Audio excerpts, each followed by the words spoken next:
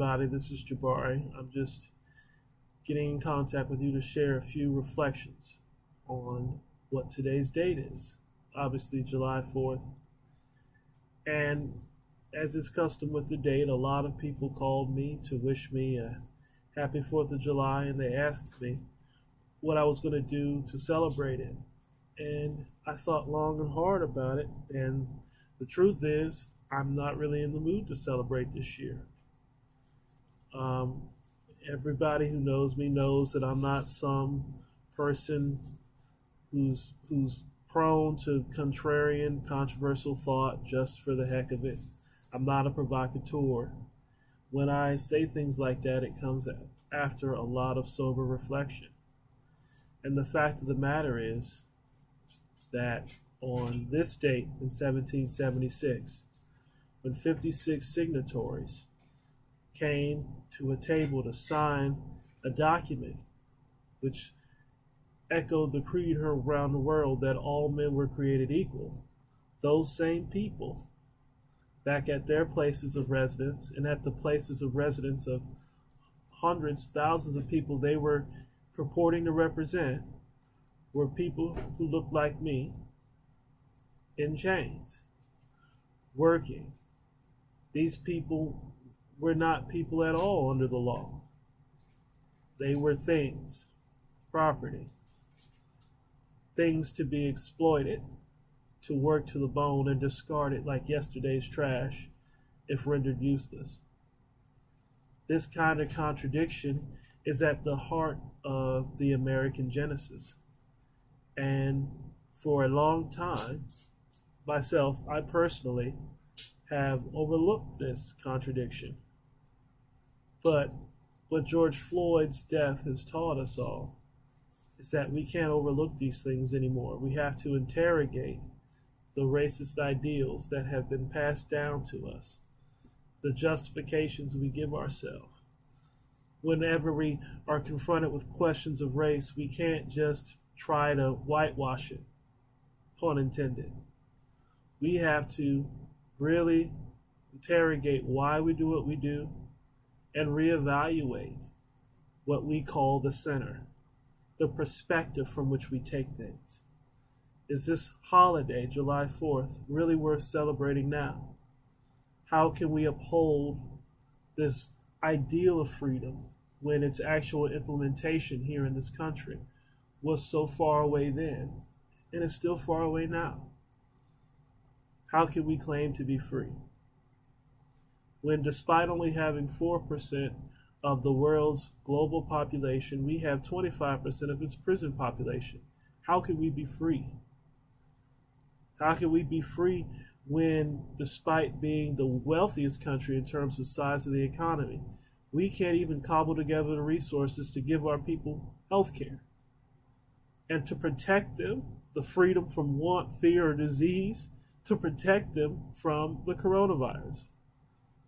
We have so many systemic failures, one after another, all stemming from the same thing being overrun with self interest, the inability to empathize with one another because of perspectives and the relativism that comes with being in this modern age, the willingness to sacrifice someone else for the egoistic yearnings, selfish yearnings of oneself this willingness to yield to consumerism at the expense of those who are further down on the socioeconomic ladder. Our comfort with discarding those who aren't white because it's too hard to admit, yes, we're racist. It's something that we have to reflect on today. It's something that we have to think about. It's something that we have to dedicate ourselves to. And it's not a time to celebrate right now. George Floyd's body is barely cold. And we have to think about that. And obviously, whenever we criticize race, the first thing people reflexively do is say, well, this guy's anti American if you if you pillory racism in such a loud and vociferous way against the flag, sound familiar? you come off as anti American. Well, that's not because we are anti American. In fact, I love this country and care about it. The reason why you think it's anti American to criticize racism is because America is as old as racism itself. And racism is an Amer- as, is as an American an institution as anything else. And so those two being so closely linked together are often confused for one another. So we have to get real. And as a black man, I get to see two both sides of the contradiction. I get to see what freedom can look like if brought to everybody, while also seeing the progress that has to be made. I get to see both the ideal. I get to fall in love and be awestruck by the Constitution as much as anybody, while also knowing the conditions on the street where the Constitution isn't even a dream to be deferred. This status, this ability to see both sides of this contradiction is known by W.E.B. Du Bois, the founder of the NAACP and the first black PhD candidate at Harvard, as the double consciousness. And I want to leave you with a quote by him because he articulates exactly what I've been talking about so clearly.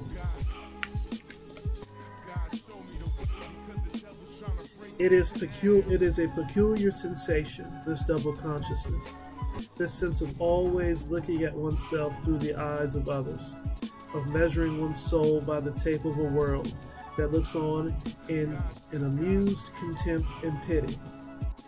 One ever feels his two-ness.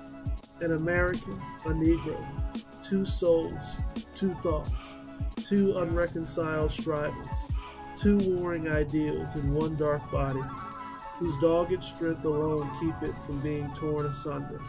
The history of the American Negro is the history of this strife, this longing to attain self-conscious manhood, to merge his double self into a better and truer self. In this merging, he wishes neither of the older selves to be lost. He would not Africanize America, for America has too much to teach the world and Africa. He would not bleach his Negro soul in a flood of white Americanism, for he knows that Negro blood has a message for the world. He simply wishes to make it possible for a man to be both a Negro and American, without being cursed, spat on by his fellows, without having the doors of opportunity closed roughly in his face. I want to be both an American and a Negro, just like Du Bois writes me. But the state of the country kind of makes me pick sides. And right now, I'm not in the mood to wish you a happy 4th of July.